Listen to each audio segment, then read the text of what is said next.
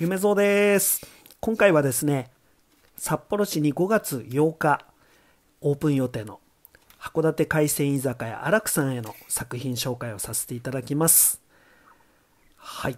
えーまずはですね、えー会社2年の一つ、和気あいあいを書かせていただいております。函館といえばですね、イカなんですね。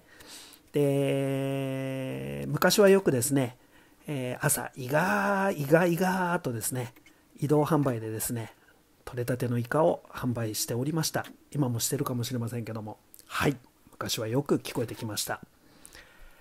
はい、ここからはですね、えー長文の作品作りを紹介したいと思います。えー今回のテーマはですね、あの北海道道南の鉛を上手に表現して使ってくれという、えーご要望でしたので、そんな感じで作っております。でまずは「なんまらうめえもんを」っていう表現なんですけどもこれは、えーめちゃめちゃ美味しいものをっていうことですね。でほいどこいでっていう表現があるんですけどもこれは癒やしいとかっていう表現がありますね。なのでほいどこいで食ってこれは癒やしくいっぱい食べてさっていう感じですね。えー好きなものをって書かせていただきます。はい。えーがっつりといううん、がっつり飲んで。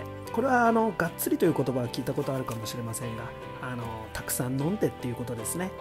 で揺るぐないという言葉を書かせてもらうんですけどもまあ揺るぐないというのはですね大変とかなんか辛いとかなんかそんな表現なんですね、えー揺るぎない揺るぐないことは、えーちょべっと。これはちょっと。揺るぐないこと。大変なことはちょっと。忘れて。えーみんなで、うん、くっちゃべってっていう言葉があるんですけどもね。これは話すとかあのワイワイガヤガヤなんかそんな表現でしょうか。みんなでくっちゃべってさと。みんなで話してさ。あずましくという表現があります。